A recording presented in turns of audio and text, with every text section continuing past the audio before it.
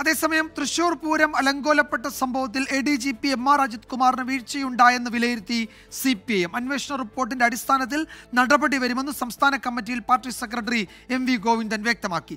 അഭിമുഖ വിവാദവുമായി ബന്ധപ്പെട്ട എല്ലാ ചോദ്യത്തിനും പി ആർ ഇല്ല എന്ന ഒറ്റ വാചകത്തിൽ മുഖ്യമന്ത്രി മറുപടി ഒതുക്കി. പൂരം നടത്തിപ്പുമായി ബന്ധപ്പെട്ട ഡി ജി പി റിപ്പോർട്ടിലെ A D G P M R Ajith കുമാറിനെതിരെയുള്ള പരാമർശമാണ് വീഴ്ചയുണ്ടെന്ന് വിലയിരുത്തുന്നതിലേക്ക് സി പി എമ്മിനെ നയിച്ചത്. ഇക്കാര്യത്തിൽ വിശദമായ അന്വേഷണത്തിന് ശേഷം നടപടി ഉറപ്പാക്കും. സി പി എം സംസ്ഥാന കമ്മിറ്റിയിൽ എം വി ഗോവിന്ദനാണ് ഇക്കാര്യം വ്യക്തമാക്കിയത്.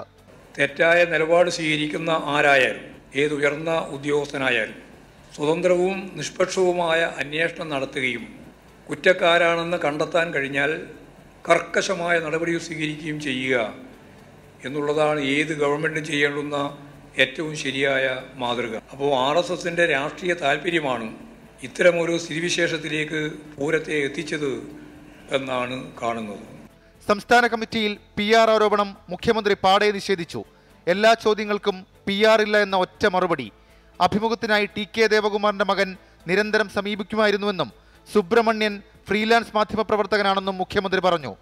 പി ആറിന് വേണ്ടി ആരെയും നിയോഗിക്കുകയോ ആർക്കും പണം കൊടുക്കുകയോ ചെയ്തിട്ടില്ലെന്നും മുഖ്യമന്ത്രി വിശദീകരിച്ചു. സി പി ഐ സമ്മർദ്ദത്തിൽ പാർട്ടിയുടെ നിലപാട് മാറ്റമാണ് എ ഡി ജി പിയെ തള്ളുന്ന സാഹചര്യത്തിലേക്ക് എത്തിച്ചത്. Twenty four Thiruvananthapuram.